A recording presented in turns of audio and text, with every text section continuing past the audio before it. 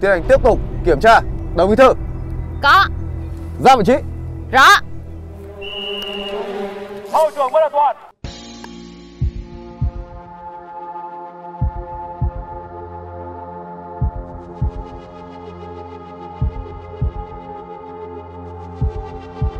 Phục vụ cấp đạn.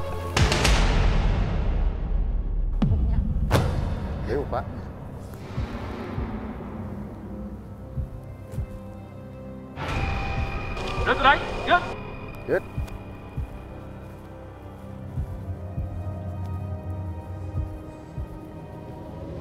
Tiếp cận mục tiêu Bắt đầu.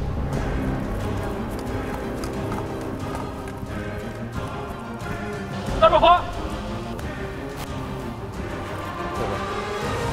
Tiếp phá Chậm lại. Chậm lại. Chậm lại. Chậm lại.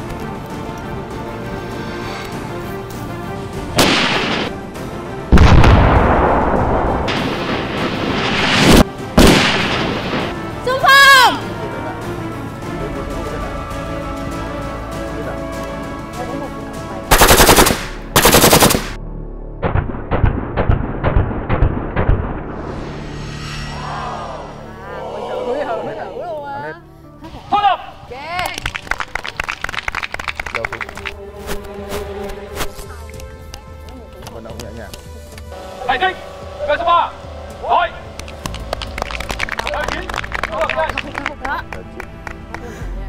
khóc không khóc không có khóc không có khóc không Không khóc có nha. khóc không không khóc.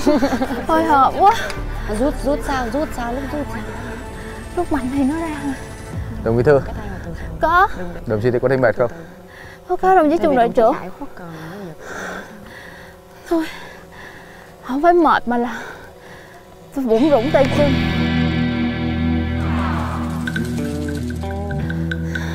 Đồng chí có cần nghỉ ngơi không? Không ạ Tim tôi chỉ đập Nhanh hơn bình thường thôi Đập nhanh do mệt hay do đồng chí Cho tôi Hồi hộp hồi hộp? Đồng chí cảm thấy như thế nào? Tôi thấy Tôi sợ tôi chưa thấy gì hết á.